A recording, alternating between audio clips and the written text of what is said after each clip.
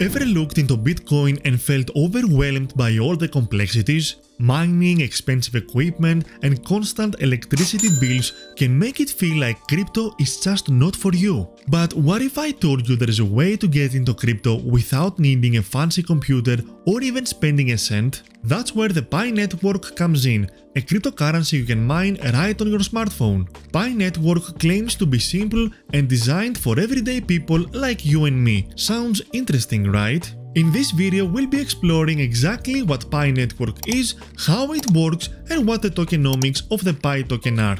So let's get started. Alright, let's start with the basics. What exactly is Pi Network? Pi Network is a cryptocurrency project founded in 2019 by Nicholas, Cheng Diao and Vincent, all Stanford graduates. The idea behind it was to make a cryptocurrency accessible to everyone, not just the tech-savvy or wealthy. While most popular cryptocurrencies like Bitcoin require specialized equipment for mining and consume enormous amounts of electricity, Pi Network takes a completely different approach. Here's the big idea, you can mine Pi coins directly from your smartphone and according to their website there is no impact on your phone's performance, battery or data usage beyond that of a regular app. Sounds too good to be true, right?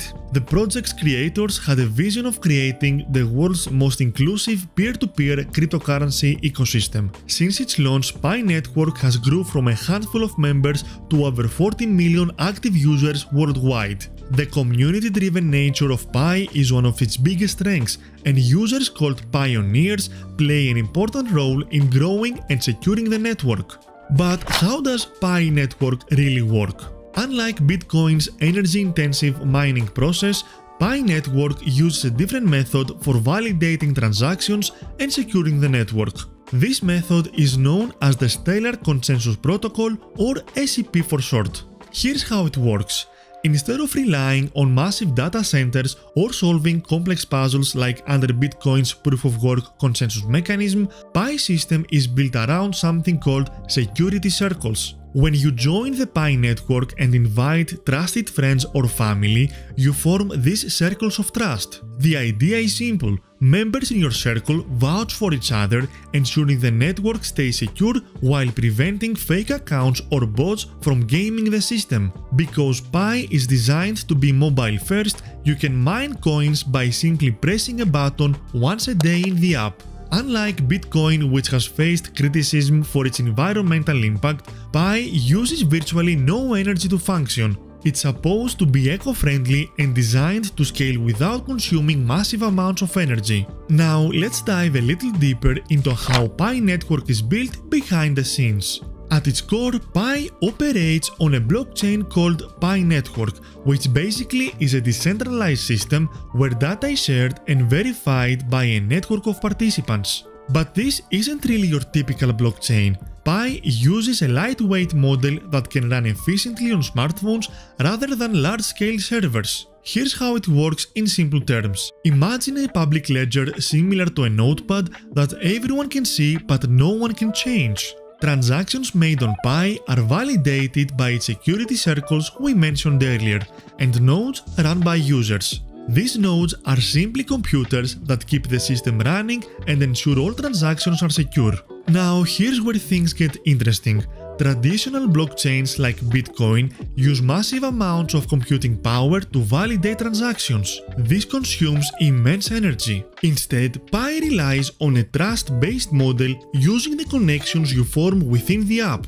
The result is a secure, low-energy system capable of handling millions of users. Another interesting fact is how Pi uses its layered architecture. While the foundational layer ensures security and decentralization, additional layers power apps, marketplaces, and other use cases. Now that we know what Pi Network is and how it works, let's explore the tokenomics of the Pi token. Pi is the native cryptocurrency of the ecosystem, with a maximum supply set at 100 billion tokens. It serves as a medium of exchange for peer-to-peer -peer transactions, can be used to pay for gas fees on the network, and offers staking incentives through the lockup reward system, where users lock their Pi tokens for higher mining rates.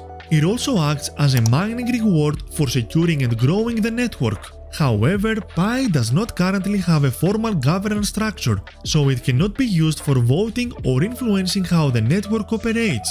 Out of the total supply, 80 billion Pi tokens are reserved for the community, while the remaining 20 billion tokens are allocated to the core team. Within the community's allocation, 65 billion tokens are set aside for mining rewards, 10 billion for ecosystem and community building, and 5 billion for a liquidity pool to support smooth operations within the network. So the big question, is Pi Network worth your time? If you're a beginner and you are looking to get into crypto now without the risks of investing in mining equipment, Pi Network might be for you. As always, remember that nothing is ever guaranteed in crypto and you should always do your own research. If you like to learn more about Pi, I leave a link in the description below.